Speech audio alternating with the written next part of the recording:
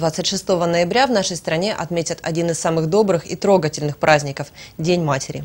Какие слова найти, чтобы описать материнские любовь и самоотверженность? Мама дает нам жизнь. С ее помощью мы делаем первые шаги. У нее ищем поддержки в трудную минуту. День матери – прекрасная возможность еще раз вспомнить о простом и в то же время необыкновенном подвиге материнства. Доброта, нежность и бескорыстие – все это есть в материнской любви, поэтому День матери пользуется любовью и обладает особой притягательной силой. В городской дом культуры в преддверии этого замечательного праздника, который отмечается в России уже в 19 раз, приехали мамы со всего района. Что они думают о Дне матери и о роли материнства в жизни женщины? Это любовь, это добро, милосердие, все это от мамы идет. И вы знаете, вот о добрых словах, если говорить, мне не надо, чтобы мои дети добрые слова говорят, мне их поступков добрых достаточно, потому что слова это пустой звук, а вот то, что я им вложила, и когда вижу отдачу, вот это для меня самое главное. Я сама мама тоже, у меня пока что одна девочка, вот. Я очень рада, что у нас чтится этот праздник, потому что для каждой женщины быть матерью – это великий дар, это самое большое счастье.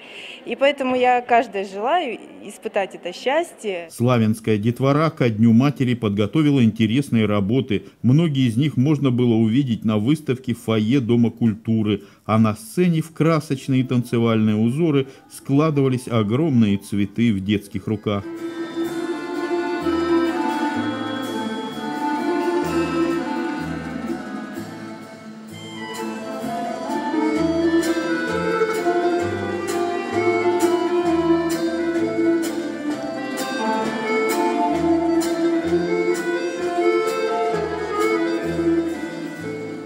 Со сцены в этот день прозвучали самые добрые слова поздравлений и пожеланий. Хочу пожелать вам прежде всего крепкого здоровья, семейного благополучия, тепла, уюта.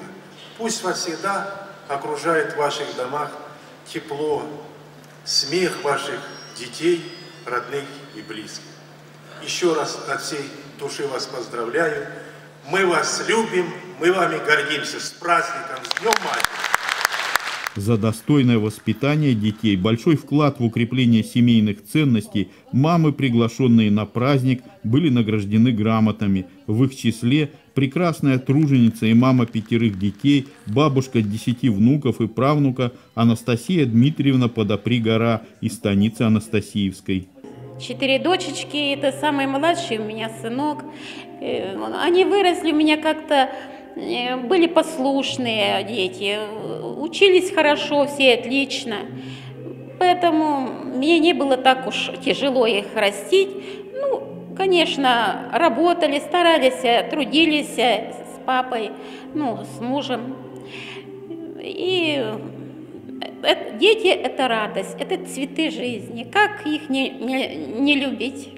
Евгения Кияшка, мама четырех детей, молода, энергична. У нее хватает сил, чтобы успешно сочетать воспитание детей и работу. Очень сильно любит у меня детей муж именно. Это вся затея, это его. Потому что э, когда нам было по 20 лет, у нас появился первенец. Следом за ним второй, потом был очень большой перерыв. Сложилась карьера, построили дом, а дети выросли. Вот это вторые дети, которые вот именно стали наполнять наш дом. Потому что старшие уже вылетели из гнезда. Самодеятельные таланты приготовили для всех собравшихся разнообразную концертную программу, и горячие аплодисменты были достойной наградой артистам за их творчество.